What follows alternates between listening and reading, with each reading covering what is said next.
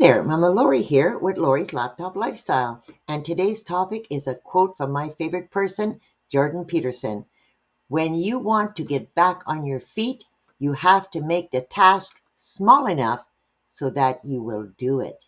Isn't that exciting? Oh my God, I love that. What a strong saying. And that is why I want to talk about Jordan Peterson's quote.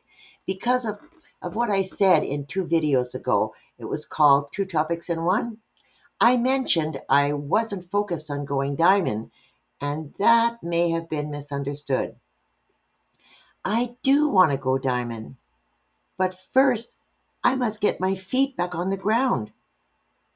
First, I must learn my new skills. I don't come from a techie background.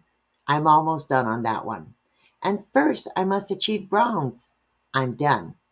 First, I must achieve silver. I'm done with that too. And first, I must achieve gold. I'm almost done on that one. You see, I am on my way to diamond. But if I focus solely on diamond, I will miss out on my journey's achievements and all my successes along the way. I need those celebrations to keep me focused.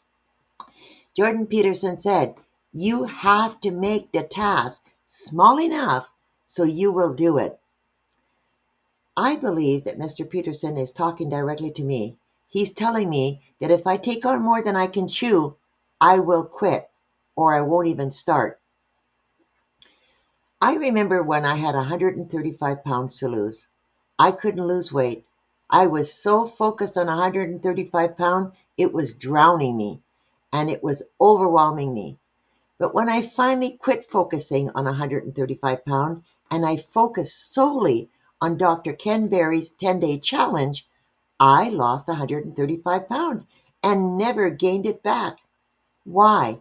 Because I was focused on 10 day challenges, not the whole 135 pounds.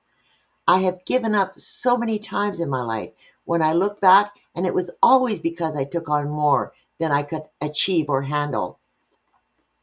The status I had set up for myself was impossible to achieve, and when I didn't make it, I quit.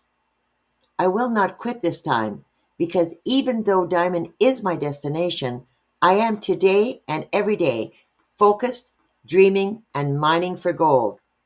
Take a look at my gold mine and visit joinmamalori.com.